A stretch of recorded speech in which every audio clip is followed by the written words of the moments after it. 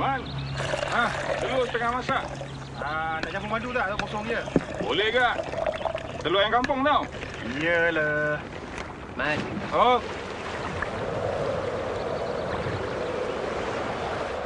Banyak. Bernafsu betul aku tak karisma tu.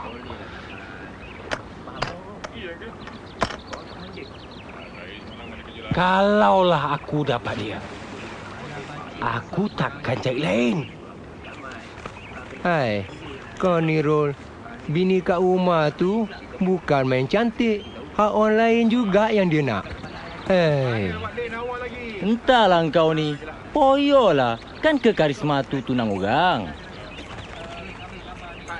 Tunang budak yang bangkai menyawa tu. Apalah engkau? Penagih-penagih pun itu yang dia nak. Kalau tak silap akulah, dah tiga tahun si Igam tu di pusat serenti. Dia tunggu juga. Apa sama bapak dia tak cancel aja? Mereka tu dah berbesan dengan keluarga Igam. Kalau cancel, bergaduh lah nanti. Hmm. Tiga tahun. Setia sungguh si karisma tu. Eh, aku dengar dekat 10 orang masuk pinang dia. Tapi semuanya dia tolak. Mereka tu yang bodoh. Dah tahu tunang orang. Pergi Pinang buat apa? Bongok. Ni? Dan selagi karisma bukan milik sesiapa, selagi itu, aku ada peluang. Kan? Kan, aku ada peluang. Apalah kau ni? Eh, memanglah si karisma tu bukan hak siapa-siapa. Tapi kalau dia tak nak, siapa-siapa pun tak boleh paksa dia. Betul tu, Rol. Ha. Lagipun tak lama lagi si Igam tu akan balik ke sini. Hmm. Kau memang tak ada harapan. Betul? Tak payahlah kau nak berangan lagi. Ha. Cepat jalan. Tak apa. Korang tengok. Suatu hari nanti pasti karisma akan jadi milik aku. Dek,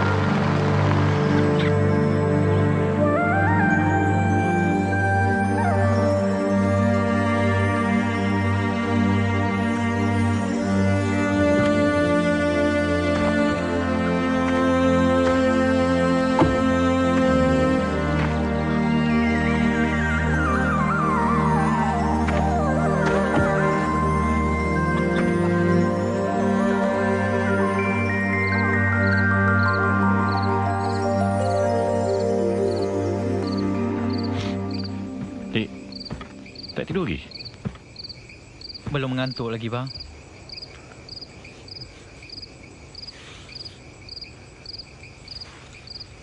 Lama tak balik. Rasa rasa macam macam lain. Dek, tak ada apa yang lain. Semua sama je. Cuma, kita tak boleh duduk sebilik. Tu je.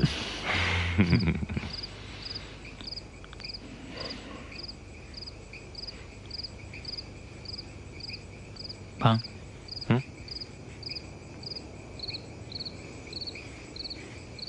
Kalau adik boleh pusingkan semula jam. Kalau adik tahu hidup adik akan hancur macam ni. Sumpah bang. Adik takkan ambil dadah. Dek, adik menangis air mata berdarah sekalipun. Benda tu dah jadi. Dah tak boleh buat apa dah. Memang adik silap. Tapi adik boleh betulkan kesilapan adik tu. Hmm? Hmm? Susah bang. Adik ni bekas penagih. Hmm. Siapa pun takkan percaya ke adik lagi dah. Nah, memang semua tu susah. Abang tak cakap senang. Banyak masalah. Tapi kalau adik buat betul-betul, adik ikhlas, percaya cakap bang. Tuhan akan bukakan jalan.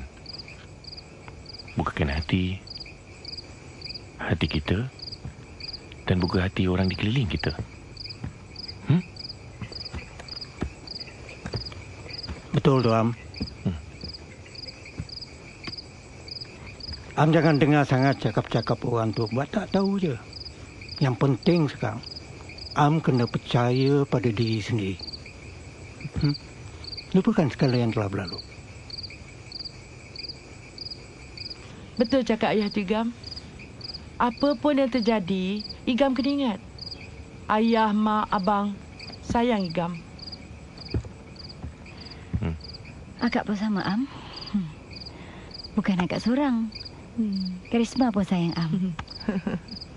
Dah lama dia tunggu Am. Hmm. Dia tak pernah lupa.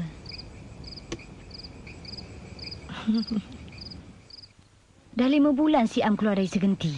Ha, dah kerja pun. Apa lagi dia nak tunggu? Kahwin aja lah. Itulah, ayah pun ada cakap tadi. Tapi abang tahu je lah Mak Ani tu. Dia lebih suka dengan cakap orang daripada cakap anak dia sendiri. Entahlah bang. Nak kata mak tak suka si Am jadi suami si Karisma. Tak pernah pula mak kata dia tak suka. Hmm, Karisma tak ada kat rumah.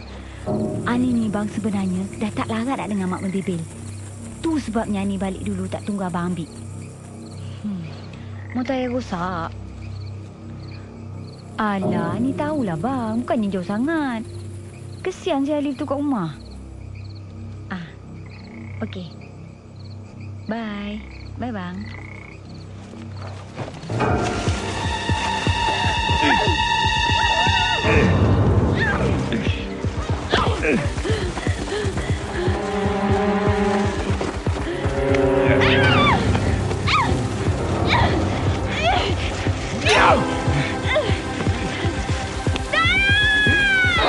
Aku kata diam!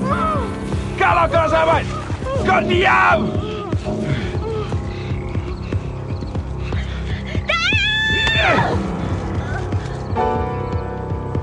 Aku dah cakap! Ah!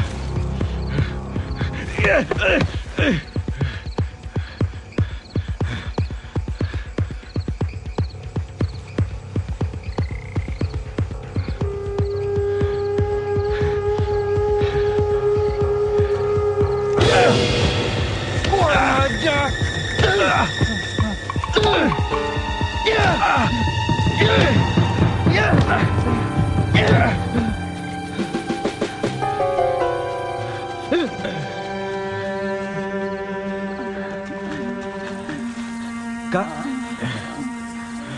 Kak. Tangkap. ah. Tangkap orang tu. ah. Hap, Tangkap. habis akak macam mana? Akak tak apa-apa. Akak tak apa-apa. Sikit je. Hmm. Takut tak boleh. Eh, Ha? apa tu? Ha? Apa tu, Mak? Mak, jom tengok Mak. Eh, Igam lah Mak. Igam. Ha? Eh, Mak, Ada jangan dia buat, ni. Mak. Astagfirullahalazim.